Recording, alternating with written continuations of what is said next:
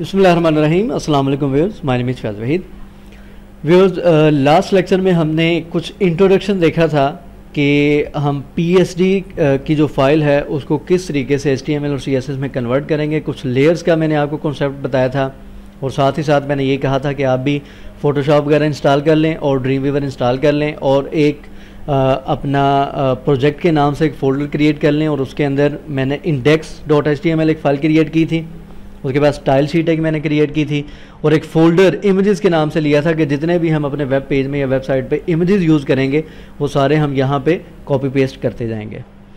अच्छा जी अब यहाँ पे चलते हैं। आ, स्टार्ट करने से पहले दो काम आपने करने हैं।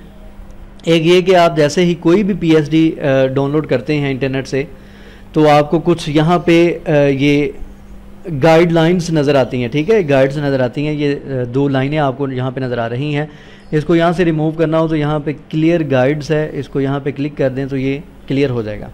ठीक है, एक काम, दूसरा आपने ये करना है कि अगर मैं इसको यहाँ पे सिलेक्ट करता हूँ तो मेरे पास तो पिक्सल में यहाँ पे वैल्यू आ रही है, आपके पास वहाँ पे इंचज़ में वैल्यू आएगी, उसको पिक्सल में आपने कन्वर्ट कन्वर्ट कर लेना है, वो किस तरीके से एडिट में जाएँगे, और लास्ट पे प्रेफरेंसेस में जाएँगे यूनिट्स हैं रूलर्स हैं इसमें जाएँगे और इन दोनों को आपने यहाँ पे पिक्सल करके यहाँ पे ओके कर देना है। मैंने ऑलरेडी इसको किया हुआ है। तो इस तरीके से मेरे पास यहाँ पे ऑलरेडी पिक्सल में ही वैल्यू आ रही है।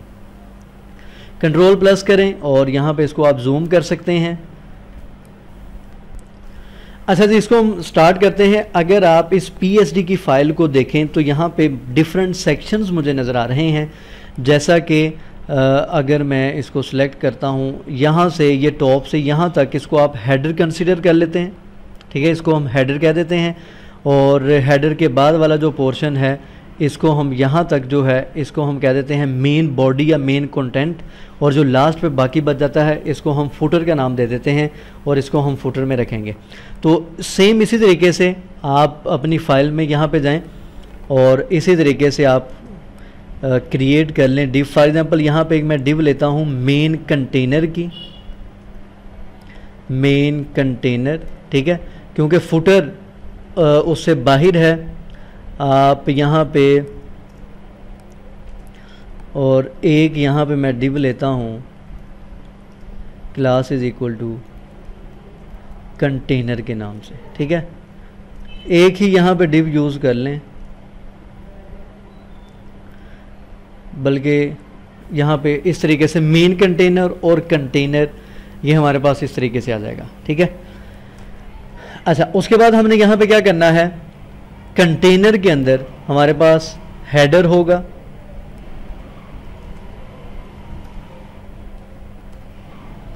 ठीक है, यहाँ पे आप एक हेडर की क्लास क्रिएट कर लें। आपकी मर्ज़ी है, यहाँ पे आप क्लास यूज़ कर लें या यहाँ पे आप आईडीज़ यूज़ कर सकते हैं।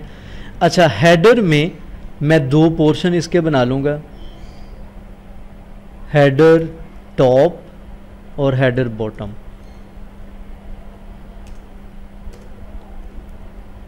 ठीक है? अभी मैं यहाँ पे बिल्कुल स्लोली ये वर्कआउट करूँगा ताकि आपको चीज़ों की समझ आती जाए और कोड जितना भी होता जाएगा आ, उसको मैं फ़िलहाल आपकी आसानी के लिए यहाँ पे राइट करता जाऊँगा। जैसे जैसे आपकी अच्छी प्रैक्टिस हो जाएगी तो फिर आपको पता चल जाएगा कि कम से कम कोड को किस तरीके से आपने रिड्यूस करना होता है क्लासेस को कैसे रिड्यूस करना है, कम से कम डिव आप यूज़ करें, कम से कम क्लासेस यूज़ करें। अभी फ़िलहाल मैं यहाँ पे इसको यूज़ कर रहा हूँ। ये मेरे पास हेडर की क्लास है। इसको रिफ़्रेश कर लें हेडर हेडर के अंदर ये दोनों आएँगे। इस चीज़ का ख्याल रखना है आपने यहाँ पे हर चीज़ को। अच्छा ये हेडर हो गया। उसके बाद यहाँ पे मैं एक डिव लेता हूँ। यहाँ पे हम लेते हैं कंटेंट के नाम से। ठीक है, जो पेज का बाकी का कंटेंट है वो यहाँ पे आ जाएगा। और कंटेनर से बाहर यहाँ पे मैं एक डिव लूँगा। फूटर के नाम से। ठीक है, इसको यहाँ पे सेव कर लें। सबसे पहले आपने अपने पेज को डिवाइड कर लेना है। जो जो आपको मेन मेजर डिव चाहिए मेन क्लासेस चाहिए, उसमें आपने इसको डिवाइड कर लेना है। और यहाँ पे कुछ स्टार्ट में स्टाइलिंग वगैरह करनी होती है। फॉर एग्ज़ाम्पल बॉडी को मैं यहाँ पे फाउंड साइज़ आप जो भी यूज़ करना चाहते हैं, वो आप यहाँ पे मेंशन कर सकते हैं। मार्जिन पैडिंग आप यहाँ पे ज़ीरो कर दें। ठीक है? यहाँ पे फाउंड फैमिली जो भी अगर तो आपने पूरे वेब पेज में सेम फाउंड फैमिली यूज़ करनी है तो वहाँ पे यहाँ पे वो भी डिक्लेयर कर दें। अगर पूरे वेब पेज पे आपने सेम फाउंड साइज़ यूज़ करना है तो वहाँ पे ये मेंशन कर दें ताकि आपको बार बार वो लिखने की ज़रूरत नहीं पड़ेगी। और दूसरी चीज़ यहाँ पे यूनिवर्सल सेलेक्टर यूज़ करते हैं आप अक्सर वेब पेजेस में देखेंगे यहाँ पे स्टाइलिंग की हो, होती है। इसी तरीके से आप वेब पेज में देखेंगे यहाँ पे H one H two H three इनकी स्टाइलिंग की होती है। पैराग्राफ लेके इनकी स्टाइलिंग की होती है एंकर टैग लेके इनकी स्टाइलिंग की होती है तो वो इसलिए की होती है ताकि हमें बार बार अगर तो सेम चीज़ें चाहिए, अगर तो मुझे हेडिंग का सेम कलर चाहिए हेडिंग की सेम फाउंड फैमिली चाहिए हेडिंग का आपने सेम फाउंड साइज़ यूज़ करना है तो उसके लिए आप इसकी स्टाइलिंग पहले कर सकते हैं। तो फ़िलहाल इसको मैं यहाँ से रिमूव कर देता हूँ। टाइम के साथ साथ आपको इन चीज़ों की समझ आ जाएगी। फ़िलहाल हम इस पी को कोशिश करते हैं कि एग्जैक्ट पिक्सल परफेक्ट इसको हम कन्वर्ट कर दें एच टी और सी एस एस में। ठीक है तो ये काम हो गया। अब हम क्या करते हैं? अब हम यहाँ पे जो मेन कंटेनर है मेरा, इसको हम यहाँ पे सिलेक्ट करते हैं कि मेन कंटेनर की जो विड्थ और हाइट मेरे पास कितनी है? 650 1354 मेन कंटेनर इसको यहाँ से कॉपी करें डॉट पेस्ट करें। यहाँ पे आप इसकी एक तो विड्थ डिफाइन कर दें। 650 पिक्सल ये बहुत ही कम विड्स है। आजकल जो वेब पेजेस हैं, उनकी विड्थ 1000 पिक्सल से नॉर्मली ज़्यादा ही होती है। लेकिन चूँकि इसकी यहाँ पे इतनी है तो हम इसको इसी तरीके से यूज़ करेंगे। और मार्जिन ज़ीरो ऑटो कर देंगे, ताकि जो पेज का कंटेंट है, वो पेज के सेंटर में आता जाए। और यहाँ पे मैं बॉर्डर यूज़ करूँगा। बॉर्डर फाइव पिक्सल सॉलिड ये अगर पी की फ़ाइल में आप देखें तो यहाँ पे एक बॉर्डर यूज़ किया गया है। ये वाला बॉर्डर ठीक है? इसका कलर हमने यहाँ से लेना है। ये इस पर क्लिक करें। ये कलर यहाँ से कॉपी कर लें। फाइव पिक्सल सॉलिड और ये बॉर्डर का कलर आ जाएगा। इसको सेव करें रिफ़्रेश करें। तो हमारे पास ये इस तरीके से यहाँ पे आपको बॉर्डर नज़र आ रहा है। ठीक है? विट्स यहाँ पे स्पेलिंग गलत हैं। इस वजह से वो पूरे पेज पे चला गया है। ठीक है, ये बिल्कुल सेंटर में, जैसे आपको ये पीएचडी की फ़ाइल नज़र आ रही है, बिल्कुल पेज के सेंटर में आपको ये इस तरीके से नज़र आ रही है। इसकी जितनी विड्स है, मैं उतनी ही यूज़ कर रहा हूँ। और आपने एग्जैक्ट उतनी ही विड्स यूज़ करनी होती है, जितनी भी पीएचडी की यहाँ पे विड्स और हाइट आपको यहाँ पे दे दी जाती है। नॉर्मली हाइट को ऑटो भी यूज़ किया जाता है, लेकिन यहाँ पे मैंने फ़िलहाल फिक्स हाइट कर दी है।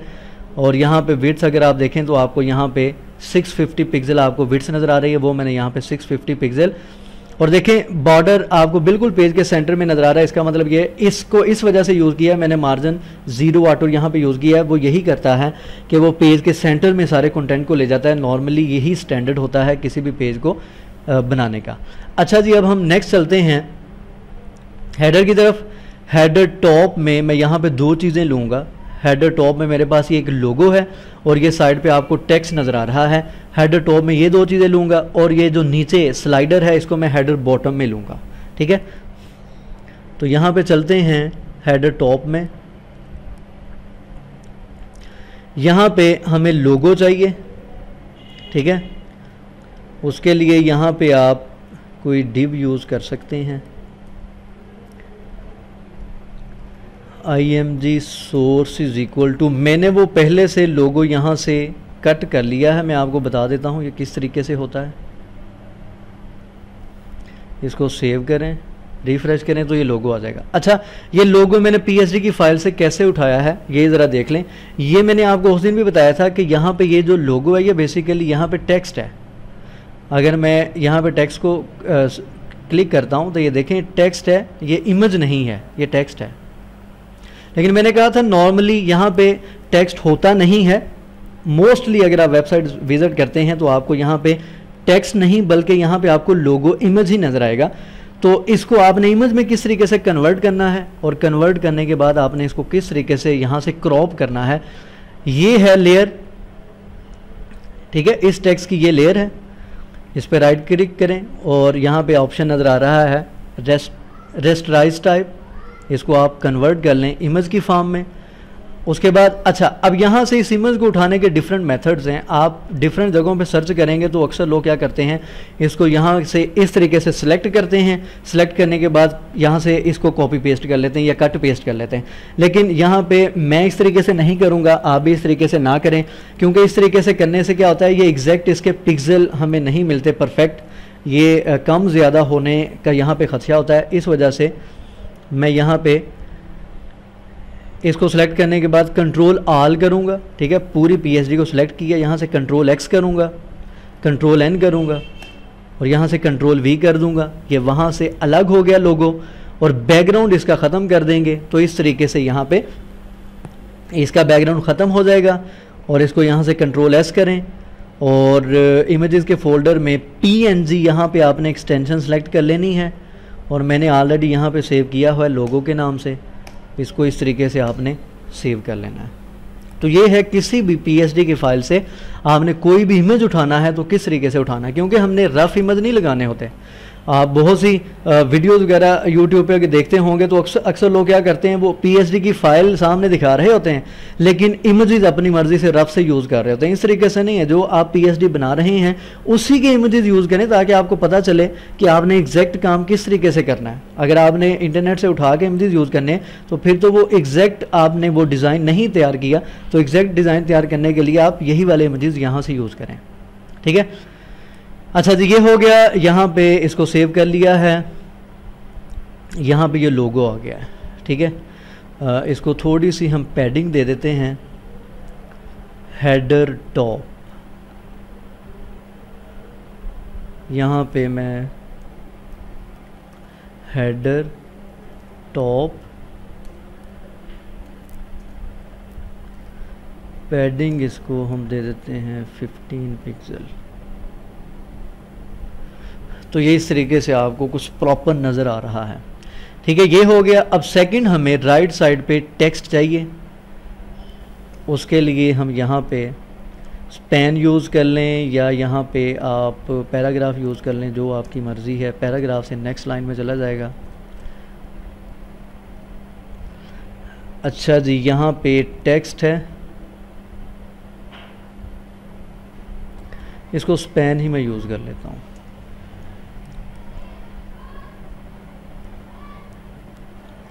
ठीक है? अब यहाँ से टेक्स्ट को डायरेक्टली आप यहाँ से कॉपी पेस्ट कर सकते हैं। लिखने की ज़रूरत नहीं है। यहाँ से टेक्स्ट को कॉपी करें। और यहाँ पे इसको पेस्ट कर दें। ठीक है? अच्छा एक और चीज़, जैसे मैंने टेक्स्ट को सिलेक्ट किया है तो वहाँ पे आपको नज़र आ रहा है, इसका जो फाउंड फैमिली है, वो एरियल है। और यहाँ पे फाउंड वेट इसका बोल्ड है। और फाउंड साइज़ इसका 13 पिक्सल है। और कलर इसका ये ब्लैक है। ये सारी की सारी चीज़ें, जैसे ही आपने टेक्स्ट को सिलेक्ट किया है, ये सारी की सारी चीज़ें ऊपर आपको नज़र आ रही हैं। तो ये भी हमने यहाँ पे मेंशन करनी है। यहाँ पे अच्छा जो नेक्स्ट टेक्स्ट होगा, उसको हमने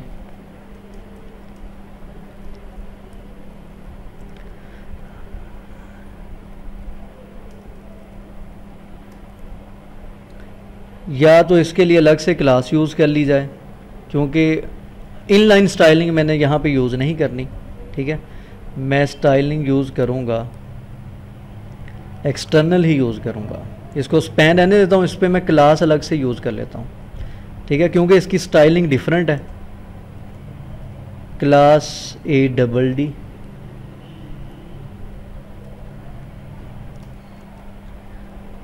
A double D found family Arial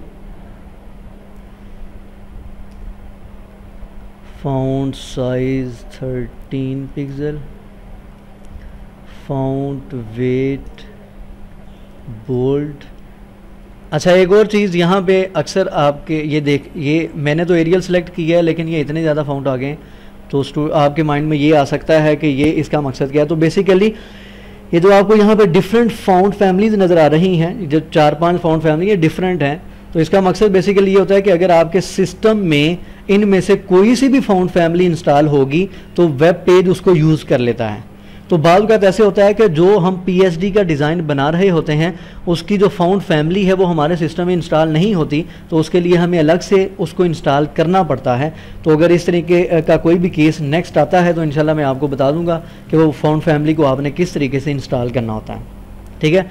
तो फ़िलहाल ये स्टाइलिंग कर ली है, इसको यहाँ पे रिफ़्रेश करते हैं। तो ये आपके सामने इस तरीके से ये टेक्स्ट नज़र आ रहा है। अच्छा जी, अब हमने काम क्या करना है?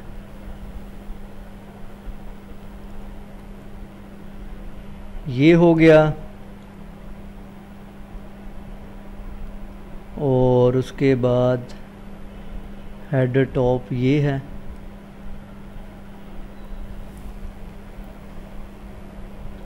इस पे भी क्लास एक अप्लाई कर देते हैं।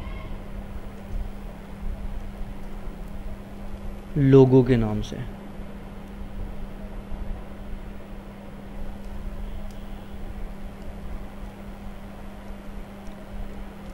ठीक है जी? इसको रिफ्रेश करें। इसकी विड्स मैं कर देता हूँ 50 परसेंट ठीक है? फ्लोट लेफ़्ट यहीं से इसको कॉपी कर लें।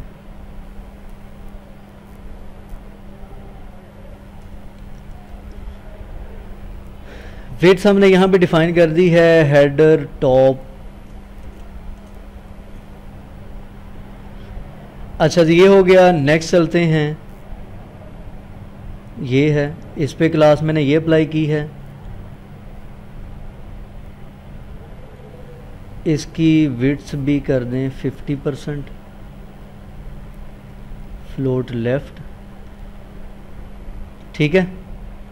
अच्छा एक और काम करते हैं, यहाँ पे ना, एक अलग से मैं। चले, पहले यहाँ पे राइट कर लें।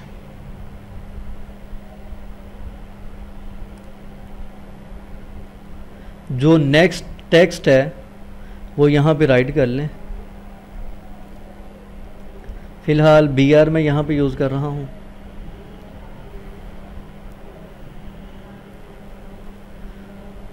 ये टेक्स्ट कॉपी करें। ये नॉर्मल है, या बोल्ड नहीं है थर्टीन पिक्सल है एरियल है। ये आ जाएगा। नेक्स्ट चलते हैं। इसको कॉपी करें।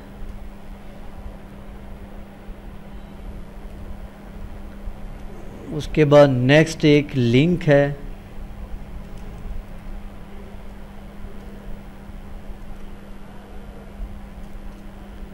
ठीक है? तो उसको लिंक की फॉर्म में राइट कर लें। इसका कलर देखें, ऊपर यहाँ पे चेंज हो गया, इसका कलर और है, बाकी स्टाइलिंग सेम है।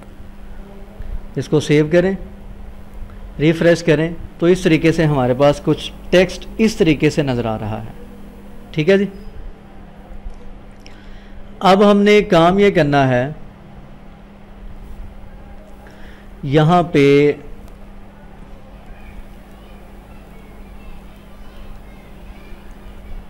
पैराग्राफ चलें, यूज़ कर लें। उसके ऊपर ये क्लास ले जाएँ।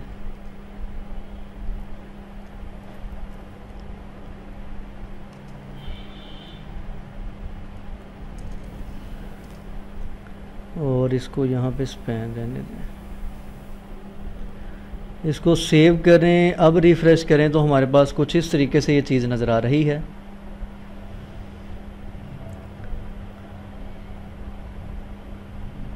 यहाँ पे विड्थ डिफ़ाइन नहीं की मैंने विड्थ यहाँ पे 50 परसेंट टेक्स्ट लाइन राइट ठीक है?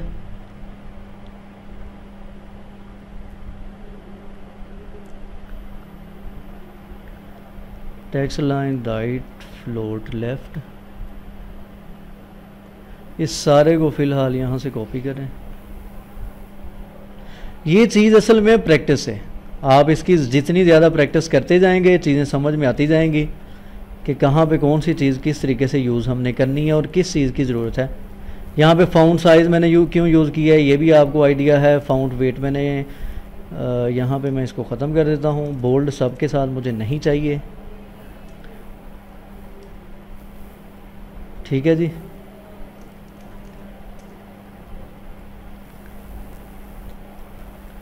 ये इस तरीके से आ जाएगा, इसको सेव करें। रिफ़्रेश करें तो हमारे पास ये चीज़ बन चुकी है, ठीक है? जैसे पी की फ़ाइल में आपको लेफ़्ट और राइट पे ये नज़र आ रही थी, ये इस तरीके से बन गई है। अब एक क्वेश्चन ये है, सबसे पहले तो इसका मार्जिन ख़त्म करते हैं हम। मार्जिन ज़ीरो पिक्सल ठीक है? अब ये बेहतर है। यहाँ पे मार्जिन राइट करें। ज़ीरो पिक्सल ठीक है जी, ये हो गया। अब दो काम करने हैं। एक तो ये वाला जो टेक्स्ट है, इसको मुझे बोल्ड करना है। तो इसको बोल्ड कैसे करेंगे? ऐड की क्लास में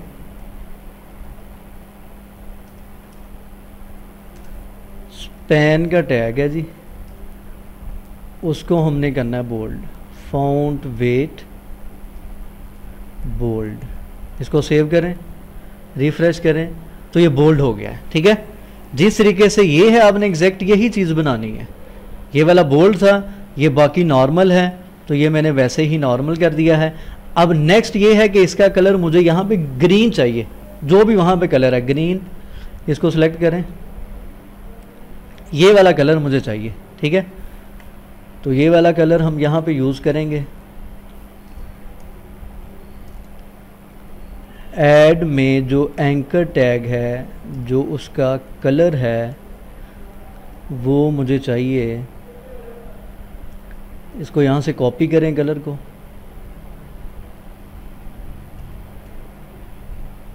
यहाँ पे पेस्ट करें। और नेक्स्ट मुझे यहाँ पे वो अंडरलाइन नहीं चाहिए, ठीक है? तो मैं यहाँ पे टेक्स्ट डेकोरेशन यूज़ करूँगा नन इसको सेव करें रिफ़्रेश करें। तो ये आपके सामने एग्जैक्ट वो चीज़ बन चुकी है जो आपको यहाँ पे नज़र आ रही थी। ठीक है? ये इस तरीके से। ये। ठीक है?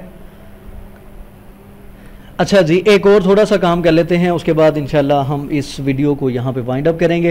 ये थोड़ा सा, ये यहाँ पे यहाँ पे मार्जिन है थोड़ा सा। तो इसको थोड़ा सा मार्जिन हम यहाँ पे यूज़ कर लें। ये इंस्पेक्ट एलिमेंट का बहुत ज़्यादा फ़ायदा है, आपको आसानी से चीज़ें आप कवर कर लेते हैं। इसको मार्जिन बॉटम दे दें।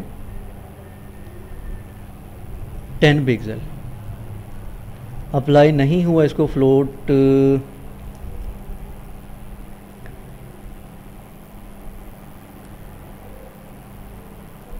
ये स्पैन का टैग है।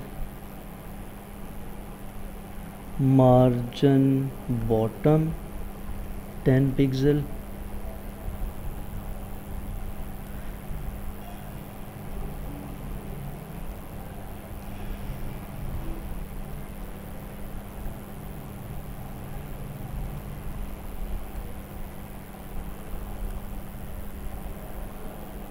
ये जो स्पैन का टैग है, इसमें असल में हमें ना बहुत सी चीज़ें खुद से ऐड करना पड़ती हैं। ये हो गया, इसकी ज़रूरत नहीं है, ये दो चीज़ें मैं इसमें कॉपी कर लेता हूँ।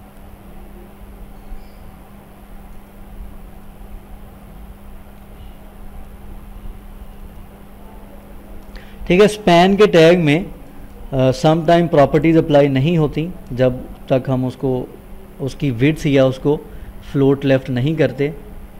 फ्लोट लेफ़्ट की बजाय यहाँ पे मार्जिन तो अप्लाई नहीं किया गया। मार्जिन बॉटम टेन पिक्सल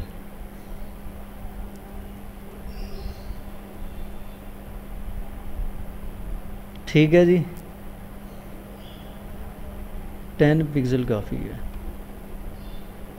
ये सारा ही कॉपी कर लें।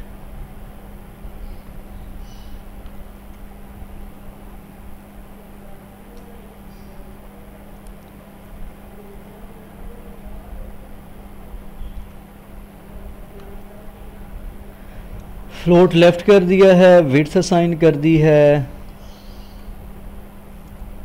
और यहाँ से इसको मार्जिन हमने असाइन कर दिया है। ठीक है जी ये इस तरीके से थोड़ा सा मार्जिन था तो मार्जिन यहाँ पे दे दिया है।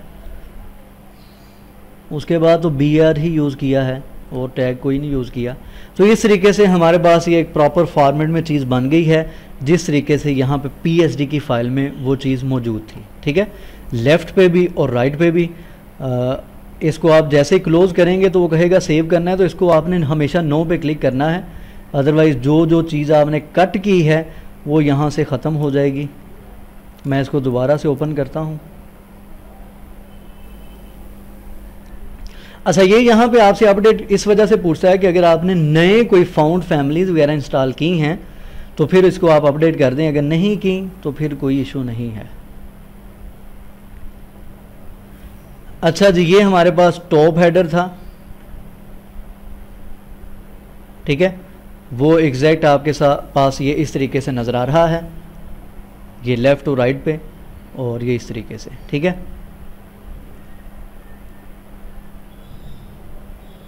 तो फ़िलहाल इसको मैं यहाँ पे स्टॉप करता हूँ। इन हम यहीं से कंटिन्यू करेंगे नेक्स्ट लेक्चर में, और नेक्स्ट हम देखेंगे कि ये हमने स्लाइडर यहाँ पे स्लाइडर नहीं, फ़िलहाल ये एक इमेज है। इसको हमने किस तरीके से प्लेस करना है और ये सोशल आइकन्स हैं, इनको किस तरीके से प्लेस करना है और फिर इंशाल्लाह वन बाय वन नेक्स्ट चलता जाएगा। तो फ़िलहाल इजाज़त दें, दुआ में खसूस याद रखा करें। किसी भी किस्म का कोई भी क्वेश्चन हो तो आप पूछ सकते हैं।